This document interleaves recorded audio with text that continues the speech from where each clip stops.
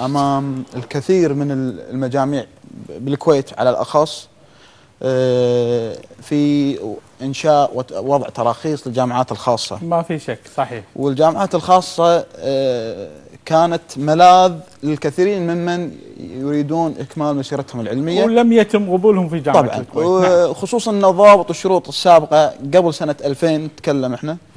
كانت يعني صعبة خصوصا إن بعض الناس اللي ودهم يكملون كانت كانوا يستصعبون صحيح الدراسة. صحيح. وفيما يخص ال- ال- الحركة الطلابية على وجه الخصوص في الجامعة العربية المفتوحة طيب. هي حركة مو جديدة كانت وبدت مع نشأة الجامعة كأول جامعة أخذت ترخيصها من الدولة. أه، وهذه المسيرة استمرت إلى الآن ولكن الشيء الجديد والشيء المفاجئ إن الحركة الطلابية اللي داخل الجامعة خلقت لنفسها وضعية جديدة ألا وهي ال- ال- الحياة الديمقراطية. برجع لك أخوي آه، بدر بس قبل ما وعبد نطلع الله من ما نطلع عندك آه، إدارة بس- الحديث بس نقهوى الربع قبل ما نطلع من الموضوع تفضل. أنا بسال لاعبين أخوي نايف أو عبد العزيز من ما صارت لكم مباريات وتمرينات وأنتم برمضان صيام الله لا يهينك. أول والله صارت جو- لنا مباريات لنا لا- الجو حلو بالعكس. لا يوم هو طلعنا ويا المفروض من اليمين بس كنا أنا نتمرن. صار الجو عصر الحركي ولا صبح ارسل. ولا طعم كنا نتمرن عصر وليل ولا صبح باين وليل. باين. يعني كان عادي بس التمرين يعني اللي قبل الفطور يكون خفيف علينا. يعني كله شوت نركز تركيز بالخطط يعني بس ما صار ما صادفتوا مباريات. لا ما صادفنا الحمد لله مباريات ولا شيء. أخوي عبد العزيز نفس الشيء ها؟ لا أنا بالنسبة لي والله صادفتني أكثر مباراة بس نعم. تكون وقتها متأخر مثلا الساعة 9 ونص أو الساعة 10 يعني. فتكون نفس الوقت الطبيعي يعني أنت تفطر الساعة 6 6 وربع تقريبا. عندك تقريبا مجال ساعتين ساعتين ونص تكون بالنادي. آه، تكون مباريات طبعا الدوري الكويتي محلي طبعا. ما صادفتنا انها تكون بطولات خارجية بس على المستوى المحلي صادفتنا أكثر من مباراة. آه، بالعكس أنا أحس إنها أمتع يعني برمضان خصوصا انه يكون الوقت متأخر آه، الجمهور يكون بشكل أكبر موجود. بدل لا تكون المباراة مبكر مثلا تكون الساعة 5 أو الساعة 7 تكون الساعة 9 أو الساعة 10 وجو رمضان إنه يكون فيها أحلى يعني. عندكم طقوس معينة أو أكل معين قبل ما تبدون خصوصا برمضان لازم يكون خفاف للمباريات ولا الأكل العادي لا أكيد تروح أنت إذا عندك مباراة أكيد راح تخفف يعني ما راح تأكل مثل الأكل الاعتيادي مثلا. يعني العيوش مو إيه أكيد يعني لاحق في سحور بعد عاد أكيد. حرتك في السحور يعني. بس بالنسبة للفطور ما تكثر يعني. خفايف. وبعد المباراة أدي اللي عليك أكيد. أنا قالوا لي أخوي عبد العزيز سالفة السوبرمان. سوبرمان كرة السلة. سوبرمان. أنا أقولها أنا أقولها عن أخوي عزيز. إيه. لا لا خل عبد العزيز لا. خلنا نقولها عنه بقهويك أنا. أخوي عبد العزيز يا طويل العمر. اي تفضل. كان بطولة بطولة بطولة بمكة. كان يناد ينادون آه، اللاعب السعودي الله وليد مدني. الله يذكره بالخير وليد مدني. ينادونه سوبرمان بالسعودية لأنه كان يطمر. عزيز توه كان شاب كان بشبابه. وكان يطمر مع وليد مدني وياخذ وتو يطمر وياخذها. الجمهور السعودي قام يسمي عزيز آه، سوبرمان. حلو صراحة. لأنه كان يطمر ها؟ اي لأنه كان يطمر. ما شاء الله عليه. وأنت نايف يسمونك أو اللقب اللي أعطوك إياه. لا أنا ما لي لقب. يسمونه مهاوشنا هاو بس عبد الله أنا ملاحظ عليهم ما شاء الله. اثنينهم طوال. سلة ها؟ إي.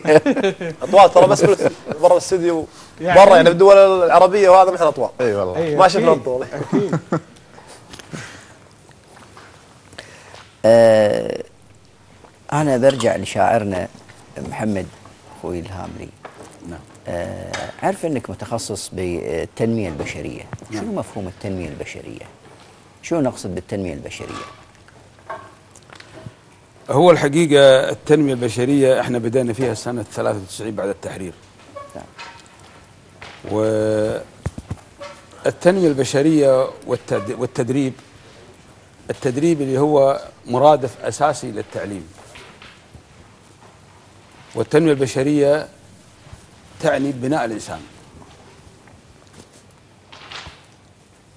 وتدريب الإنسان وتأهيله وتحضيره طبعا لسوق العمل تغطية سوق العمل نعم لأنه إحنا من سنوات عندنا تعليم نعم. ولكن ما عندنا تأهيل للإنسان بحيث إنه يعني- آه، يملأ سوق العمل ويخدم بلده نعم. بشكل احترافي وتخصصي عندنا حشو معلومات تعليم. ولكن تشوف إن الكويتيين مت- متك- متكودين بالمكاتب. ودائما عينه يرنو إلى الكرسي الوظيفي والترهل الوظيفي الغير منتج. وتلاقي الأعمال الحرفية والأعمال الإنتاجية آه، نستخدم لها عمالة من الخارج. وهذا شيء خلل يعني في الوضع العام يعني. إذا التنمية البشرية شيء مطلوب وضروري في جميع الدول يعني لأن لأن هي أساس الإنسان بناء الإنسان هو بناء فقط. بناء بناء البشر قبل الحجر نعم. وببناء الإنسان حتى يخدم وطنه ويشتغل ويعيش بشكل يعني منتج نعم. لا بشكل ترهلي ويكون عالة على الوظيفة وعالة على المكان اللي يشتغل فيه نعم. ف ولله الحمد والمنة إحنا بدأنا سنة 93 لحد الآن. متخرج من عند مركزنا لا يقل عن 20 ألف وأكاد أقول أكثر على تطبيقات الحاسوب. والآن ولله الحمد كلهم يخدمون في مرافق الدولة ويشتغلون فيها في كل في تخصصه يعطيكم العافية وما قصرتوا أنتقل لأخوي محمد العتيبي بما أنك محامي هل تجد أن إحنا في تعاملاتنا البسيطة قاعد نطبق القانون. الشخص اللي يمشي بالسيارة ويقط كلينكس أو يوقف ويطوف الإشارة الحمراء أو أنه يرتكب مخالفات يمكن تكون بسيطة لكن هل هي في دول ثانية تعتبر كبيرة؟ هل إحنا قاعد نطبق القانون في حياتنا اليومية؟ وهو بشكل عام خلينا نكون واضحين إن بفضل الله سبحانه وتعالى نعم. قاعد نشوف كل بعد فترة يتم تطوير قوانين معينة وأجزاء في القانون آه وبكل صراحة في أخطاء ترتكب.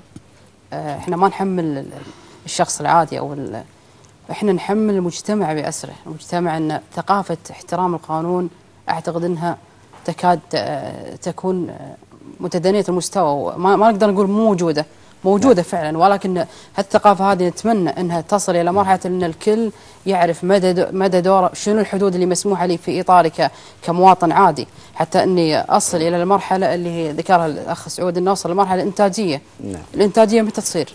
التنمية متى تصير؟ إذا إحنا احترمنا وعرفنا اللي لنا واللي علينا عرفت الحقوق إيه، والواجبات عرفت الحقوق نعم. والواجبات في هذا في هذا المجال هذا نعم نعم. طيب آه, آه خالد عندك شيء؟ والله فيك حاجة. أنا, عندي شغلة تقرقع بقلبي عند يلا. المحامي. أخوي محمد بكل صراحة. أستاذنا. يعني للأسف الواحد لو صارت له شغلة في محكمة أو كذا وقالوا له روح المحامي يدوخ. مو هو عارف. وكلنا مبطل بابه وكلنا يقرب النار. قرصه قرصه عند قرصة. تروح عند هذا قال لك عندي وأنا أبو هندي مع احترامي وتقديري.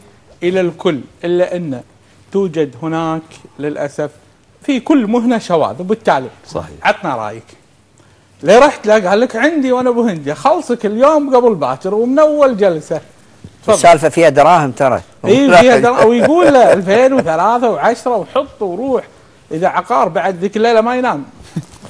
لا خلينا نكون صريحين. أصابع إيدك مو يسوى مو متسا- مو متساوية. أحسنت وما نقدر نطعن في زملائنا زملاء المهنة لهم إلا ان انت كشخص التقدير والاحترام. إيه كشخص عادي اللي بينك وبين المحامي عقد فأنت ملزم ملزم يعني العقد هذا اللي تبرم مع المحامي المحامي ترى مو مطلوب منه يحقق نتيجة ولكن يبذل. في حال انه قصر في عقد في ت- في مساءلة للمحامي بس في جمعية معلش عشان نكون معاك بالحديث. من البداية بعضهم يعطيك يعني الحلو يا أخي. هذه.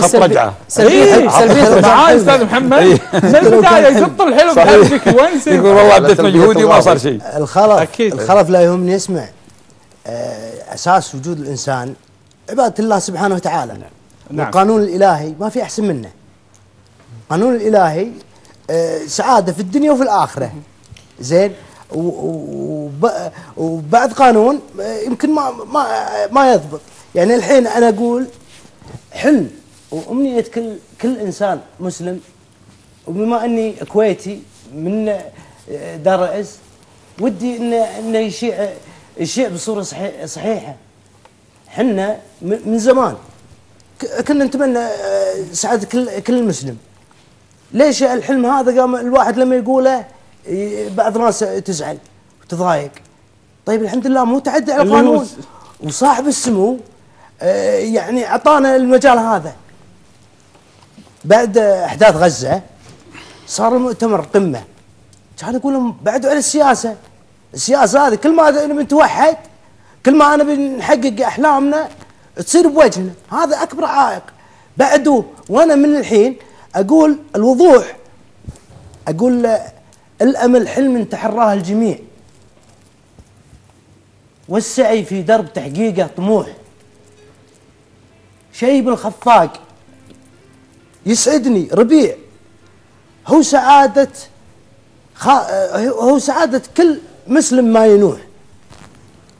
اسمحوا لي يعني أنا الموضوع هذا والله العظيم إنه مكدرني. اللي هو لا، سعادة. المسلمين. م- سعادة اتحاد المسلمين. المسلمين والقدس. وكلام حضرة صاحب السمو براسنا ولكل الكويتيين. وكلامه يعني آه، آه، نعزه ونجله وصاحب السمو له الامر والطاعه في كل آه، الكلام وبكل التصريحات والأحاديث اللي يقولها يعني الحين. هي, هي اله- الهدف هذا أو الأمنية هي في في ضمير جميع إنسان هي أمنيات وأمنيات كل بضمير الكويتيين الشيعي بضمير السني صحيح على المجتمع اختلاف بكل اختلاف المجتمع بكل أطيافه. هذه كل الكويت. الكويتي نعم. وهي وهي المفروض الأساس اللي نبني نبني فيه المجتمع هو التنمية الحقيقية تدري ولا لا؟ إن شاء الله أكيد. نتمنى السعادة أكيد. للكل ونتمنى إن شاء الله تتحرر القدس السليمة السليبه من العدو الإسرائيلي إن شاء الله وهذه أمنية كل مسلم أخوي بس سعود بس تفضل سؤال الله. قبل لا نايف شنو سالفة المقلب المسوي بعد العزيز؟ طلعت برا والله الموضوع ها؟ والله متوقع مق- السؤال. هذا- هذا المقلب كان بطولة الخليج الأندية كانت في الكويت هنا عندنا كان أخوي عبد العزيز يعني هو اللي تحت الكابتن هو اللي حرص علينا وكذي. وعزكم الله كل ما يقول لي لا تنسى عزكم الله الجوتي دلاغك شيء. قلت له إن شاء الله إن شاء الله. أداني من كثر ما يسويها وياي. كان هو يحط ملابسه عزكم الله وجوتية داخل الجنطة مالته. إحنا رايحين بالباص رايحين عندنا مباراه كانت مباراتنا ويا الريان الغاضري راكبين الباص عزيز حاط جنطته قدام وراكب ورا كان قاعد ويا أخوي محمد المطيري. والشباب وأنا قاعد قدام والله وبطل جنطته اللي الجوتي صرت واحطه تحت. والله. إي والله. الحين- جنطته ويروح ينزل. الحين هو نزل أنا نازل آخر واحد وياي جوتي عزيز. حول الله. وقاعد أمشي. ورحت وخشيت الجوتي عزكم الله داخل الكبت مال الغرفة مال تبديل الملابس ما ملابس. عزيز يبطل الجنطه ويطالع ويتلفت يقول ويروح الباص ويرد. وأنا قاعد وأضحك ومدنق ولا يقول لي عزكم الله وين جوتي؟ مو معقول إني ناسيه المهم جت تبلش مباراة ولا اعطيه الجوتي هذه سالفتي يا عزيز. لا بس اسمح لي أبو عبد الله في آه، جانب آخر ودي أدخل وياه مع أخوي بدر آه، آه، الخيال شو السالفة؟ أنا كله أسأل ببساطة. إحنا بديوانية يا جماعة خذوا راحتكم. الاخذ راحتك الواحد إذا عنده ولد أو ولد وبنت أو ولدين يعني من عياله ما يبنس ما دش جامعة الكويت. بيدخله في جامعة كويسة وبدون ذكر اسامي الجامعات. نار ضوء الدراهم. تفضل أخوي بدر. آه، هو باختصار شديد. بعد ما انفتح المجال أمام الجامعات الخاصة يعني هي مسألة تراخيص من مجلس الجامعات الخاصة. أكيد تفضل. فالجامعات لما انفتحت هذه جامعات يعني تعتبر تجارية أكثر تجارية؟ نعم إيه، تجارية. يعني. كسب المال. ما في شيء. وأنا والله مو جاي إن أروج لجامعتي. جامعتي هي مفتوحة لأنها هي اولا يترأسها هي مجموعة جامعات في الوطن العربي باختصار شديد. صحيح. ويعني أعتقد إن هي الأرخص بالنسبة للجامعات الثانية. بس بالفعل هي لأن وضعية تجارية. نعم. فأصحاب الجامعة الجامعات ممكن إن يكس- يكسبون المبالغ من خلال التسجيل الجامعة وأيضا تختلف أسعار المواد اللي داخل الجامعة أس- أسعار المواد التخصصات كل مادة على حدة. أكيد واضحة. وأيضا الخدمات الأخرى بعد. فهي مثل ركب الحياة والغلاء المعيشي من ضمنها أيضا أسعار الدراسة يعني. فأنت لو من تحسبها أنت بتسافر برا تدرس ولا داخل الكويت لو بتضربها بتشوف والله أنا تكون داخل الكويت أحسن. يعني مسألة الغربة ومسألة ال- أكيد. أنا برجع لك بس في آه، بعض التخصصات يعني النادرة في الجامعات الأخرى اللي أسعارها مرتفعة. آه، آه، إيش رأيك أبو عبد الله؟ وأنا عندي بعد كم سؤال لا ما خلصنا نط- منه. إن شاء الله. كلنا ضيوفنا كلهم الليلة ما شاء الله. ضيوفنا. عزيزين وغالين وإحنا سعيدين وكذلك المشاهدين الكرام. اسمحوا لنا أعزائي المشاهدين.